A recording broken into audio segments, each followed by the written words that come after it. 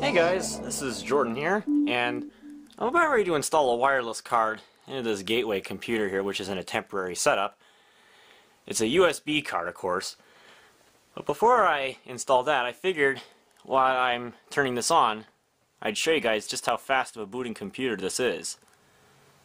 This is a computer powered by a Celeron D processor at 3.06 gigahertz and it's got 1.5 gigs of RAM.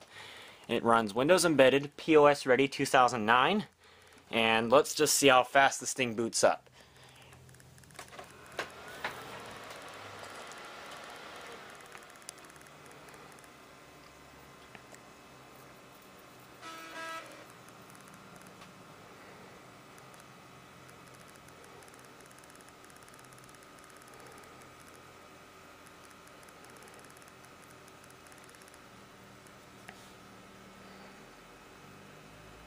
Twenty-five seconds in.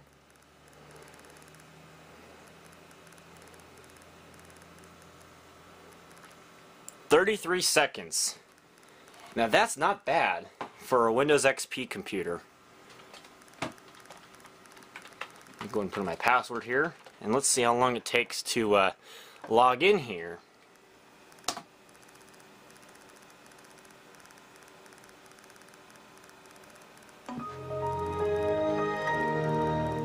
Aww. oh, that reminds me. Uh, I reset the date and time, and it tripped the um, the evaluation copy thingy. Whoops! I gotta go reset the date and time. and it just blue screened. Whoopsies! My toy. Yeah. My toy. Yeah, I want to hear it.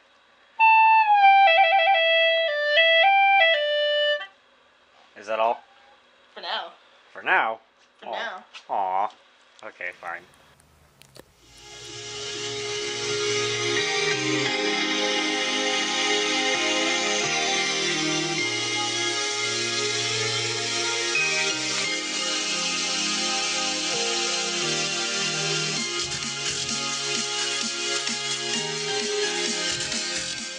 Uh, gotta love the sound of good old-fashioned uh, creative speakers. Oh crap!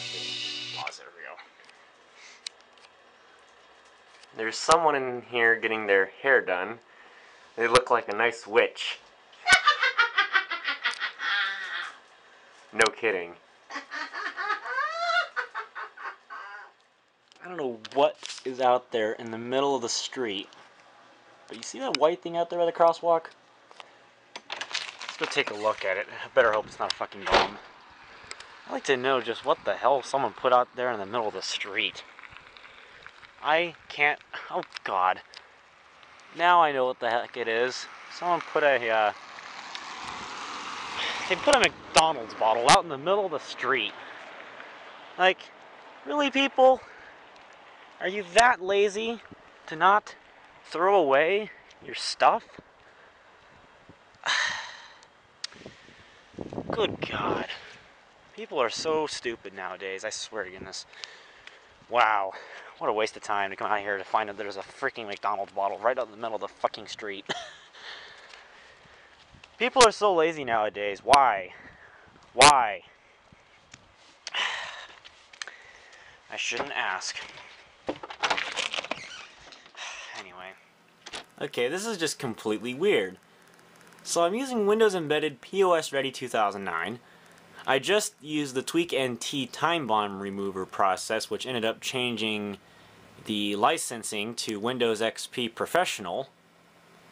And the funny thing is, now there's a glitch in Windows that now prevents me from logging on. So if I come in here and I put in my password for the admin account, and then if I log in like usual, now I have this new error message that comes up. A problem is preventing Windows from accurately checking the license for this computer. Error code 0x8007047E. And then as soon as I press OK or press enter, it logs me right back out. So I don't know if anyone else has had that weird little glitch happen to them or not, but like, that's really strange. I've never seen Windows Embedded POS Ready 2009 do that before. So, I don't know. Let's try, um... I'm gonna try rebooting the system here. Let's try that. So I don't know what the heck it's doing, but something is causing it to go like, oh my god, now the licensing has all of a sudden changed. Now I gotta prevent the user from logging on so that way they get frustrated and have to reinstall the whole freaking operating system once again. I think that's what the whole point of that is. I don't even know what that is. But like, something mischievous is behind all this. freaking Windows. so I guess I'll give this another try. Why don't you say that? I might even try safe mode if um, rebooting this doesn't work. I think that's what I might just try and do. I'm not entirely sure. Because Windows Embedded POS Ready 2009 is just being a big doofus right now, and it ain't liking me. But that's typical. So I pretty much spent like an hour or something like that installing updates, and now it's broken. So, what a waste, you know. yeah, see, it identifies itself as XP, but I would think that would only be the uh, the uh, login background and the information. But nope, it screwed everything up. I think. Yep. Yep, it's all screwed up now. That's great. Hmm. Whatever. I guess I'll just reinstall Windows Embedded again. I have to go through that trouble once more. okay, I'm getting lazy now.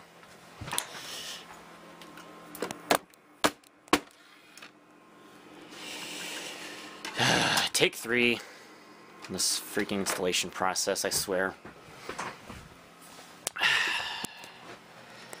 Thankfully, I still remember my product key to install the damn thing. It's just, this is just getting really annoying. Uh, whatever.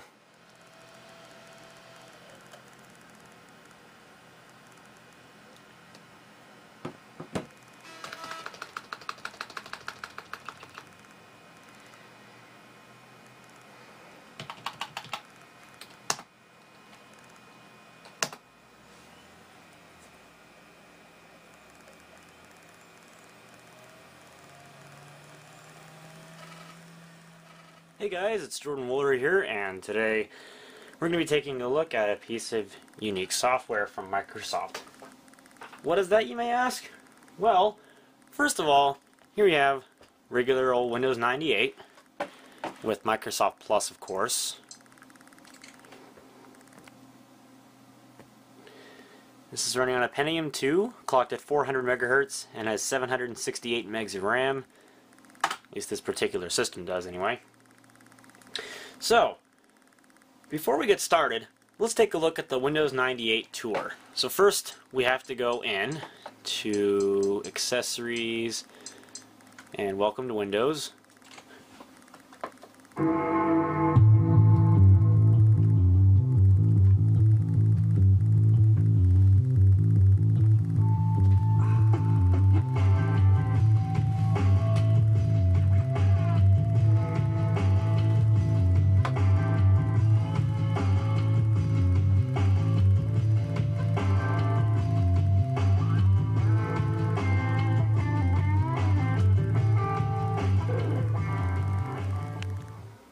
So as you can see, we are greeted with this window and that awesome 30 second WAV file telling us welcome to the exciting new world of Windows 98 where your computer desktop meets the internet. Yep, that was true. Windows 98 was more focused on integrating internet-based apps and everything like that to introduce the user to the internet's world wide web. Turns out I had to force power down the system. I don't know what was going on with it, but BIOS did not initialize.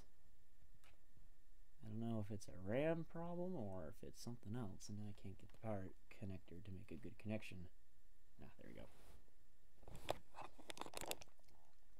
Let's try that again.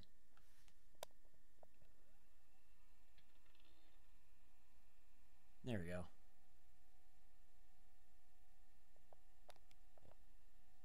I don't know if I got it defaulted to an external monitor or if it doesn't want to use the BIOS. Hope the system isn't dead. I don't think so. Last I powered this up, this system booted just fine and it ran just fine.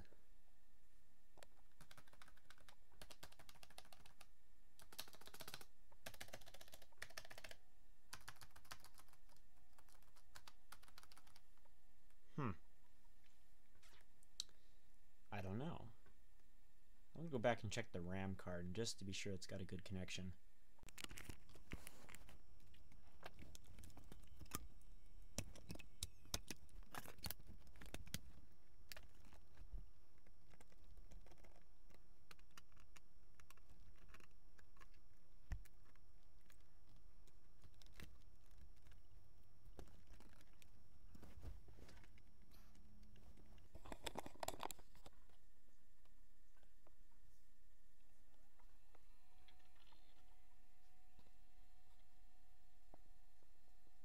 Aha, there we go. It was a bad connection on the memory. And boys, that speaker turned up quite a bit. well, the uh, resume battery didn't go dead, but the backup battery is certainly... Um, you can see the ghosting already happening on this display. The black levels are obviously not even. That's a common problem with these uh, computers. And apparently we don't have a good connection on the power connector. Oh god common problem with this laptop. Uh, there's a bent prong on the power jack. It's bent, so it doesn't really get a good connection. It's like barely connects. I don't know why it is, but it does that. anyway, um, try again.